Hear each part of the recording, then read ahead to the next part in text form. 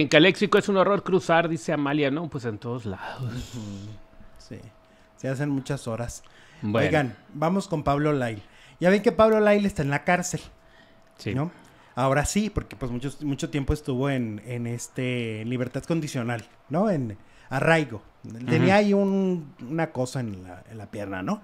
Para que no, para que no huyera. Mm, un brazalete. Exactamente. o un- sí, pues ahora resulta que eh, acaban de salir. Mira, primero, ayer salió una entrevista de la esposa en la revista Caras y le preguntaron por qué está rapado. Sí, Y ella dijo que por una apuesta, que por una apuesta. que una apuesta con el hijo, cosa que no es cierto.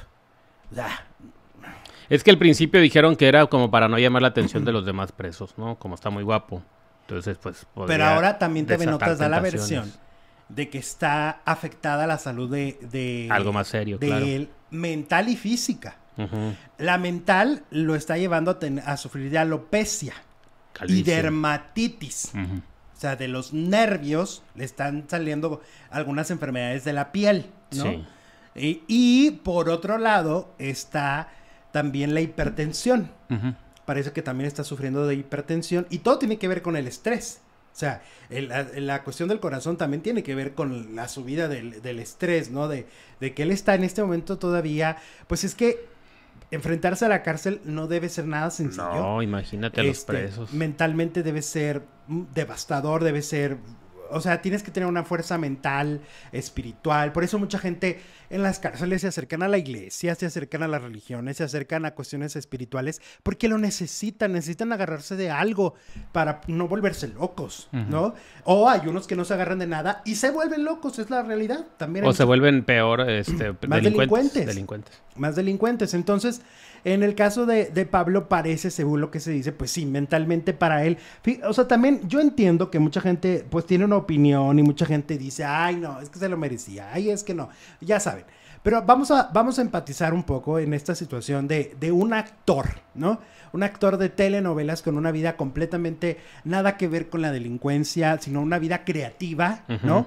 Eh, dedicado al arte, al teatro, hizo mucho teatro, hizo televisión, al- hizo cine, dedicado al arte y de repente se ve encerrado, ¿no? Sí, Es que luego esa gente que dice se lo merece, que no sé qué. No, espérenme. Una ya está juzgado y va a pagar sus cinco años. Una cosa es estar en la cárcel y pagar. Y otra cosa es desear que le, co- que le pasen cosas malas en la cárcel, como más castigo. y, y enfermedades. Y enfermedades de y, que todo. esté enfermo y que, y que ahorita le esté pasando mal. Este, no debe ser sencillo, no, no, no, no, este, ni para su familia ni para él ha sido nada fácil este, este, este laberinto negro por el que están atravesando, porque pues es, un- es una etapa muy oscura para ellos, ¿no? Muy, muy Entonces, oscura. Pablo, eh, pues no la pasa bien, la pasa muy, muy, muy mal. Este, porque hay gente que luego logra, igual, a través de la espiritualidad, a través de, de- del control emocional, a lo mejor no se ven tan afectados físicamente, pero él ya tiene enfermedades como hipertensión, dermatitis y, Y, caída fíjate, del cabello. va empezando. Va empezando. Va empezando la condena. Ajá. Y, y yo creo que es lo que genera más ansiedad, estar al principio del camino. Porque ya no, porque yo creo que cuando ya les falta un año, dicen, híjole, ya me falta un año. Pero ahorita le falta muchísimo tiempo todavía. Falta mucho para que Pablo pueda salir de prisión.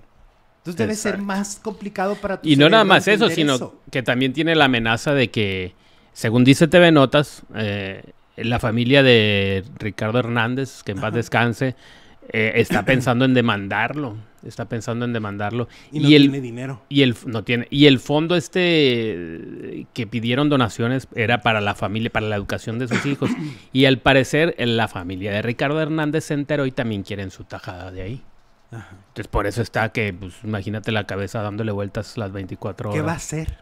de O dónde sea, a nivel cómo. económico, ¿cómo le van a hacer para resolver esto? Exacto no no la tiene fácil Híjole, no, no, no. Es como, es como que nunca se termina de resolver para él, ¿verdad? O sea, ya, no- ya le dieron una sentencia, ya tiene las cantidades de tiempo, pero el problema no se ha detenido. Sigue sin resolverse. exacto Ay, ay, ay.